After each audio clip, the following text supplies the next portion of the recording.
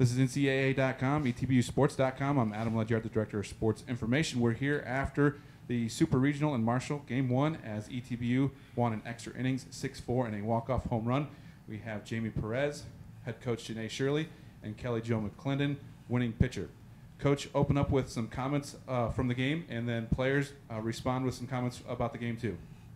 Well, I was definitely pleased with how the girls um, came back and fought through after getting down four to nothing. Um, our goal the past few weekends has been to win the fifth, sixth, seventh inning, and they did a great job of coming back and doing that. And I was very impressed. Um, we had a, a, little bit of problems like executing early, but um, they went through and came out big for us. It's a great game when uh, we have each other's backs and the energy is high, and um, it's awesome to have a team behind you. Uh, to do anything that um, that you need for them, and um, it was a great game.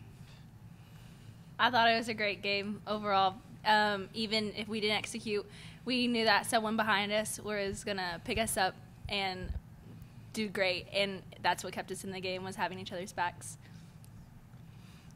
Jayme Perez was just going to go straight to it. You hit the walk-off home run, two-run shot in the bottom of the eighth inning for the win. Uh, talk about that moment. You had mentioned a uh, big stick moment before going up the bat.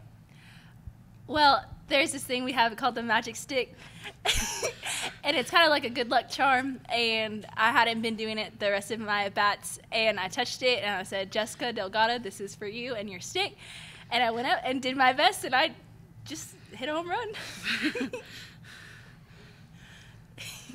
Kelly Jo, talk a little about coming in relief to pick up the win today, pitching the last four innings uh, only giving up one hit. Um, I knew at the beginning of the game I had to come in and do my best at any opportunity, um, and I was there to have Parker's back. Um, I'm just always there to um, do anything that I need to do um, to get us a win.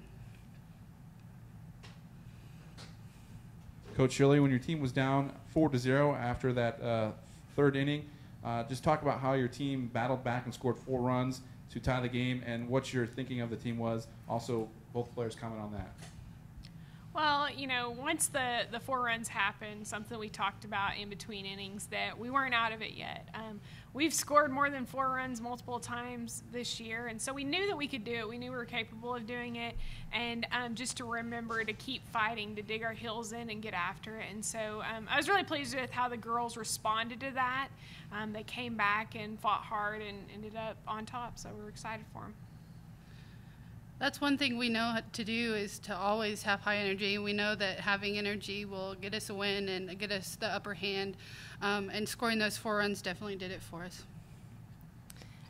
Knowing that we were behind early, uh, it took a lot of a lot for us to stay in it and stay energized. And we just kept it going and kept pushing and got runners on base and people had timely hits and things just went our way.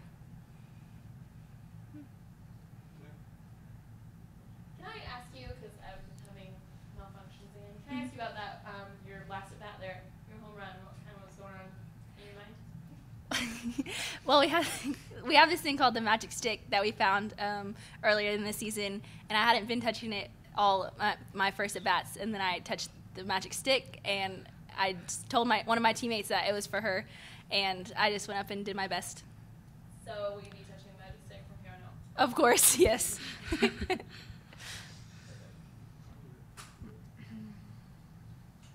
All right, Coach, thank you, and thank you Jayme Perez and Kelly Jo McLendon.